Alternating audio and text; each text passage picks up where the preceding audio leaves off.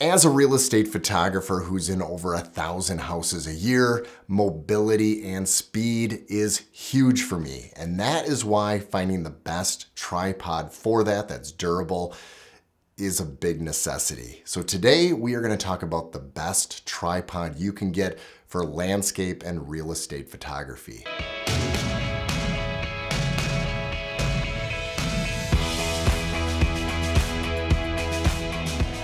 Welcome back to the channel. For those of you that are new, my name is Jared Hoyman and I love photography and videography.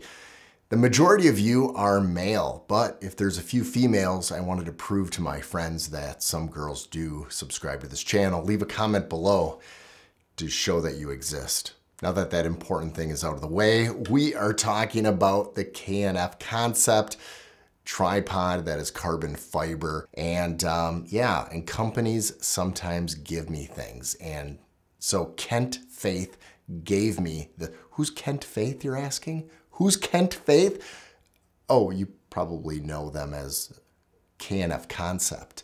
Did you know that they go by Kent Faith? I've been buying products from K&F Concept, I'm sorry, Kent Faith, for the last 10 years. I had no idea that was their name, but they go by K&F Concept, but their real name is Kent Faith. It, it sounds so cool. It's kind of like a celebrity name or something. Their slogan is first choice for photo and video products, and I will tell you, yes, I actually use them quite a bit for ND filters, for, well, tripods. I have actually gone through multiple K&F Concept, sorry, Kent Faith tripods over the years but they've always been aluminum. And that's why I have been going through them like every year because I bash the crap out of them. This one is carbon fiber. What's carbon fiber?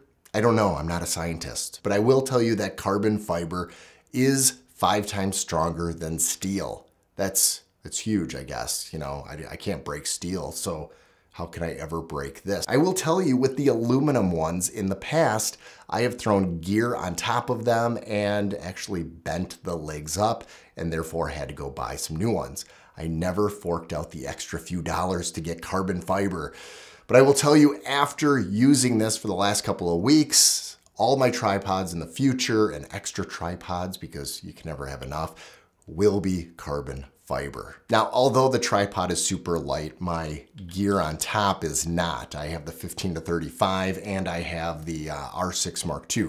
It can be a little bit heavy, but still add on a tripod and it gets even heavier. So I'm just gonna take the camera off of it and you can kind of see it in all its glory. What we're gonna do is we're gonna go outside. It is a little chilly, so I'm gonna go put on my flannel. It is fall in Wisconsin, by the way. Now, I do want to throw out the disclaimer again. This was given to me to keep. They asked if I would do a review, and since I've done business with them before, I would say, yes, of course I'll do a review because I've always loved your products. And so it is still my own opinion. They didn't tell me what to do. They didn't tell me what to do. They didn't tell me what to do. Oh, I gotta get past that part of the script. Ah, just kidding. It is my own opinion. I will tell you I love it. And if this is something you're interested in, or right now through December 31st, if you use the link below, any product at Kent Faith, K&F Concept, you can get 10% off by using the code name Jared. Oh yeah. So I'm gonna go put on my flannel shirt. We're gonna go outside and we're gonna look at this fully extended. By the way, if I say metal a few times, I don't mean metal, I just mean it's carbon fiber, it's not metal. Flannel season here in Wisconsin because lows of 30s and highs of mid 50s. It's not that warm. So right here, I have the K&F Concept carbon fiber tripod. Wow, this thing is so light. It is awesome. Um, this is ideal for real estate and for landscape because you're mobile, you're moving around. It compacts nice and small too, um, yet it holds over 30 pounds of weight. No, this isn't 30 pounds of weight. but if you wanted to put a high rig on here, get your Ninja V on this, um, soup it up with a monitor, um, this would be able to hold it. The great thing about carbon fiber as well opposed to aluminum. That's most tripods are aluminum. Um, is this stuff is very durable. You can shove a lot of things on it, you can smash it, and it will not dent in. Aluminum, on the other hand, will definitely dent in. Now, the great thing about these tripods, and I highly recommend it, is the Arca Swiss mount. It's versatile, it's easy, and um, this one does come with that Arca Swiss mount.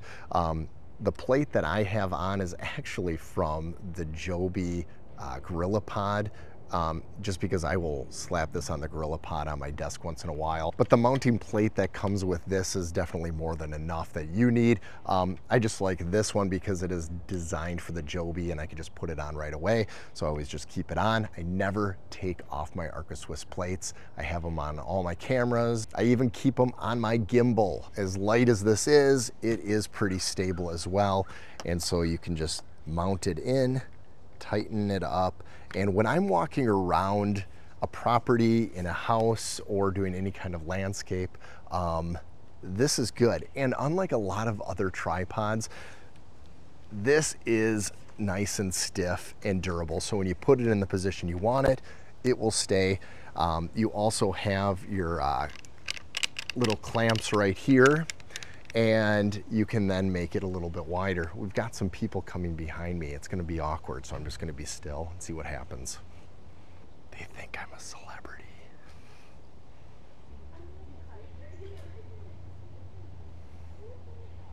Did they even notice me? Am I invisible? You can adjust this and it can be really low to the ground. So right here, and you can position any way you want. A lot of the tripods out there, especially the aluminum ones, have a little lever that you flip and then you can adjust the leg. Here, it is really easy. It's just a twist and then you can move it right there and adjust it. And what I do is I actually pre-adjust these. So these parts of the legs, these segments right here, are actually already pre positioned. I position these exactly the way I want there, and the only time I have to switch when I'm at a job is this one. So I'll always go there, and this is for some of those smaller rooms, especially bathrooms. You make them look bigger, having a lower to the ground shot. And then for main other rooms, I keep it right there, and it's just really easy to lock in, and um, they're not pushing down. It's pretty still slide it off, I shove it in the car, exactly just like that. I just shove it in there and um, I'm good to go. I mean, this thing is so much lighter than aluminum. Plus, in the winter, it shouldn't get as cold. It's gonna be more durable. It's not gonna rust like aluminum does. Um, and it's just solid. Now again, real time, this is what it looks like. I may not look super suave doing it. I always kind of slide it into place and then tighten it. It's ready to go this is ideal for people that are doing real estate photography and architectural. If you're doing video production, there's other tripods I would highly recommend, but for the case of this, you can't go wrong. It is amazing. And you want to keep everything level. So the ball head is important. So you've got this. The nice thing about these ball heads is you can adjust it right. And when you're in real estate and architectural photography, you want everything to be level. So I always, always use my little leveler built into the camera. I don't use the ball here because this is actually gonna be more accurate. And so we will line those lines up when it's all green, crank it, and now you see that it is level right there. Touch it, and that's exactly how you should do it because there's gonna be no shake with your landscape photos. Do a two second delay and do a touch trigger. It's easy. Now, I know you were really impressed by this tripod, but I think you were more impressed by the Insta360 with my iPhone 15 Pro, right?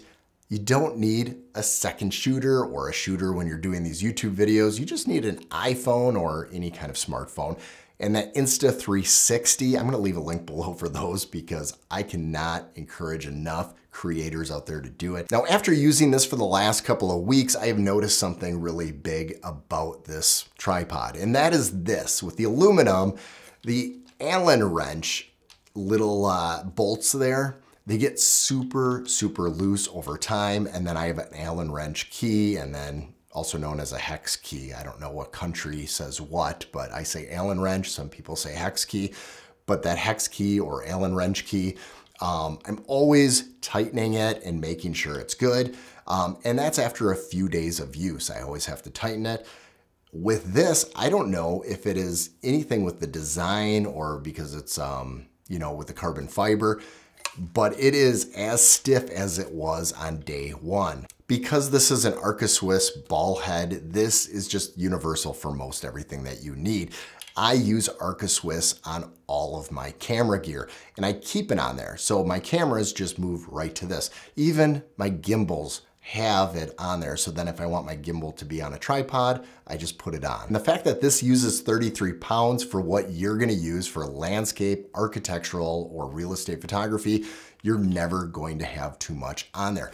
Put on the heaviest lens, the heaviest camera, uh, Atomos Ninja, um, some mics, and you're still probably at 15 pounds at the most. And like I mentioned outside, the tightening little wheel here is easier to use. It's more grippier, stronger, whereas a lot of other models will have that round wheel or ball that you're kind of twisting.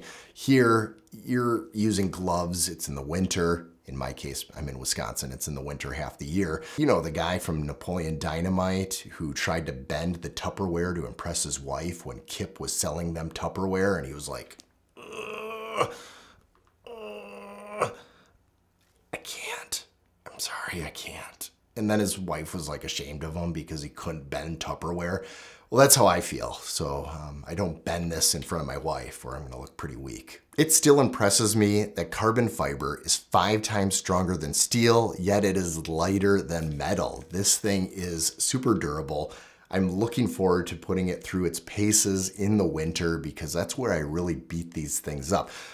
I will say I could see myself probably going through some more of these um, rubber little connectors on the feet. Um, these would probably wear off faster than anything else on this. Oh, and I totally forgot to mention, it's not a huge thing for me because I never use it, but this does work to be, check this out, if you're doing photography and somebody comes to attack you, you can unscrew this and then just beat them because it's five times stronger than steel. And yet it's light and you can hit them over the head a few times. Now, you don't do that. This is actually a monopod and yet it can be a weapon too. It just depends. I would totally do something pretty cool with it. All right, we're gonna put this back. Now this is a secret between you and me, okay? This is where you hide your beating stick. When somebody tries to steal your gear, you beat them with that. Okay, that's all I got. Don't forget to use the link below and use the code name Jared to get that 10% off till the end of this year, December 31st. And if you're bored, check out these videos because uh, Google's telling you to. They know you better than I know you because they know those are the ones that you want to watch.